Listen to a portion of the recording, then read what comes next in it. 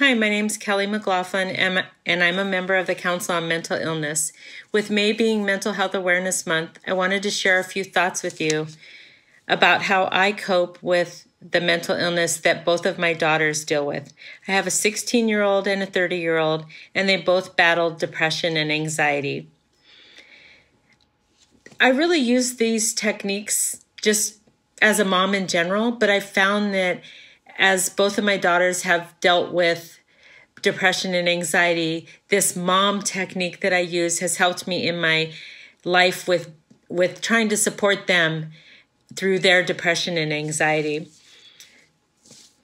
In Psalm 145, it talks about being slow to anger and being rich in kindness and being loving and forgiving. This is this is what God is for us. He's slow to anger, he's rich in kindness, he's loving and forgiving. And so when I heard that at mass a couple years ago and it was in one of the particularly difficult times uh, that my older daughter was going through. She's been hospitalized a few times for uh, suicide attempts.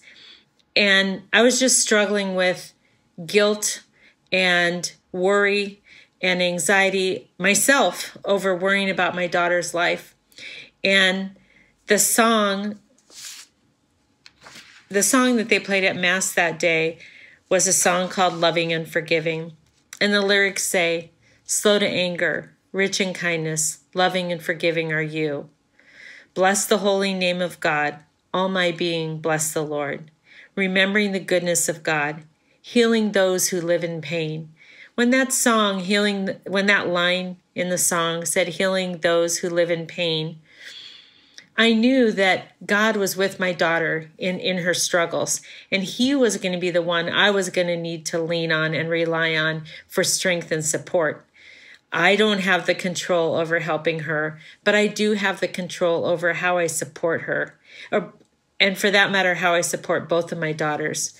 So if any of you have dealt with a family member, especially one who struggles with anxiety, they can be irritable and they can be, uh, what's the word I'm looking for? Tough to live with. It can be tough. I'm, I'm not going to lie. And uh, so many times I find myself tempted to bite back when they're angry and irritable and, and just being really, uh, they also get very um, mistrusting and also um, they get uh, a little bit paranoid sometimes too, right?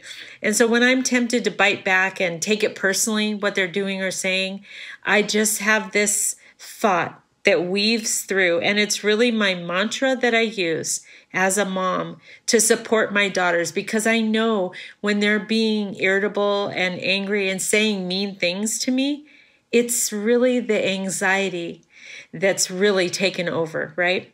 So in my mind, I say, slow to anger, rich in kindness, loving and forgiving.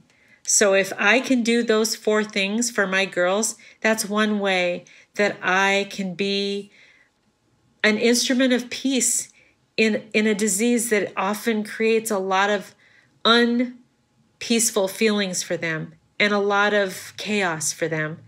So every time I want to kind of get back or be mean back, I just say to myself, slow to anger, rich in kindness, loving and forgiving.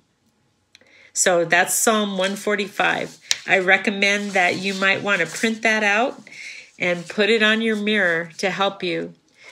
And I and I just pray for everyone who struggles with anxiety and depression, and um, God be with you.